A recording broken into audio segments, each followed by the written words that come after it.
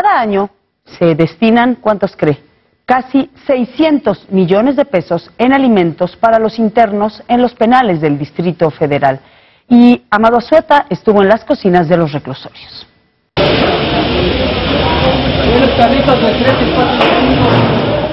La presión es la misma de todos los días en esta cocina.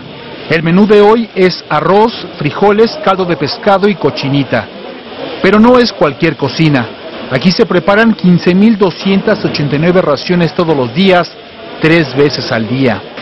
Las marmitas son de 8.000 litros, algunas otras de 4.000. Se hacen 12 marmitas. De este lado se trabaja el guisado, en la parte de acá se trabaja guarniciones que son frijoles y arroz. Es la cocina del reclusorio Oriente, ubicada en la Ciudad de México. Desinfectamos toda la verdura, la lavamos con cloro, se echa a cocer y posteriormente ya le aventamos el pescado ya también enjuagado.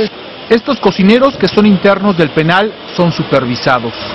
Bueno, nos van dirigiendo las personas externas, son las que nos van dando las indicaciones de lo que debemos de hacer día con día.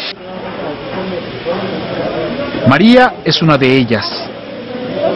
Las raciones para cada interno deben de ser parejas todas. El día de ayer, por ejemplo, se les dio carne, hoy se les da pescado, mañana se les da pollo.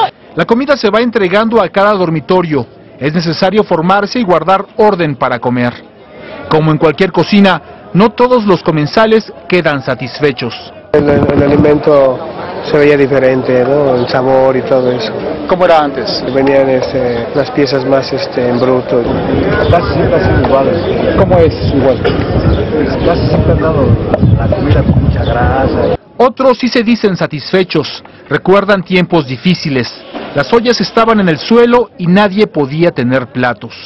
Llevo 15 años, ¿Cuánto tiempo te falta? un año, definitivamente estaba muy deteriorado. En un solo traste, si bien es cierto que se cometió un delito, sí, sí es verdad, pero al final de cuentas no dejamos de ser unos seres humanos y lo único que pedimos es eso. Las demandas eran numerosas, de ahí que se buscara mejorar la calidad de la comida y el servicio.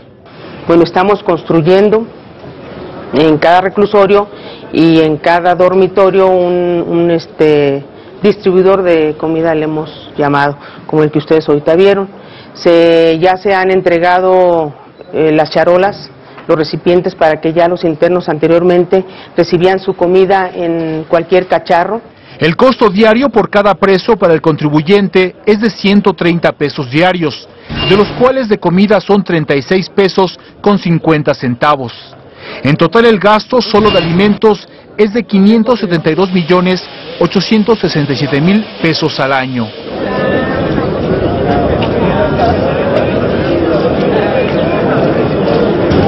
La autoridad sabe que aún falta mayor atención en el servicio de 43 mil raciones. Ahorita tenemos 41.600 este, internos y de ellos están recibiendo yo creo que el 85%. La comida, la sobrepoblación, las distintas vicisitudes hacen pensar a algunos internos en su error una y otra vez. A través de estos años aquí en la cárcel aprendí que no puedo, no puedo salir con la mentalidad con la que entré. Que lo piense.